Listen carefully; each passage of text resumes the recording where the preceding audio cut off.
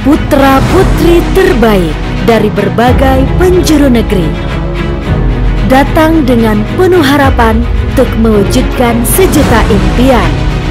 Pantang menyerah tak kenal kata mengeluh. Kuatnya tekad, teguhnya keyakinan menjadi pondasi untuk tegar berdiri. Suka dan duka menjadi saksi perjalanan menjemput mimpi. Dan kini, perjalanan mengukir cita telah sampai pada puncaknya. UIN Sunan Gunung Jati Bandung dengan bangga mempersembahkan Anugerah Adi Jati Utama.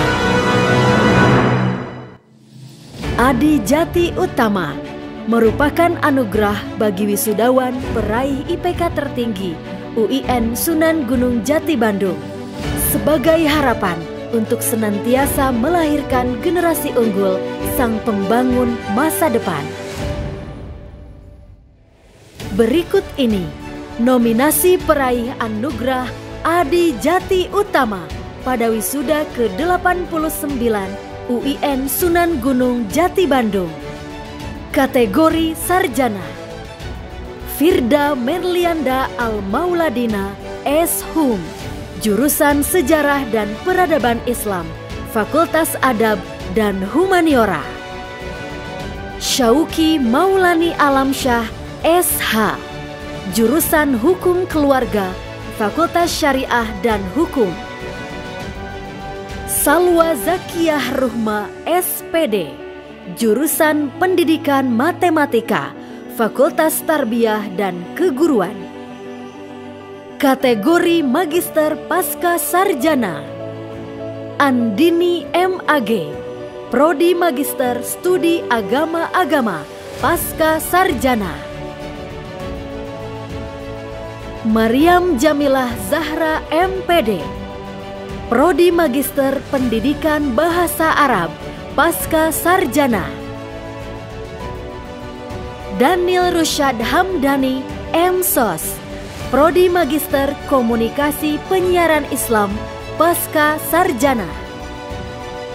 Kategori Doktor Pasca Sarjana.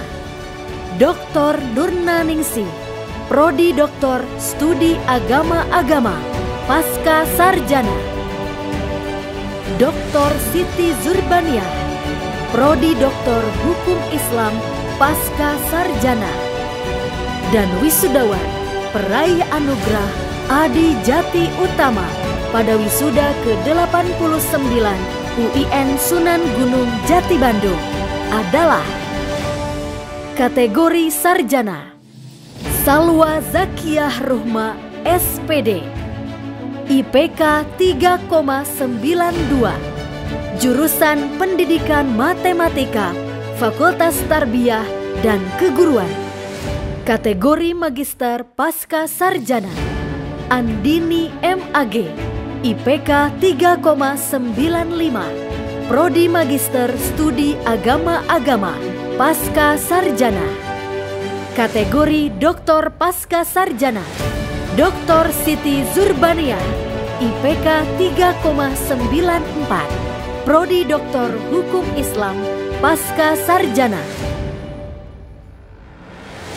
Inilah putra-putri terbaik bangsa yang akan terus melangkah dan berinovasi. Generasi unggul yang akan mengukir sejarah baru bagi masa depan Indonesia.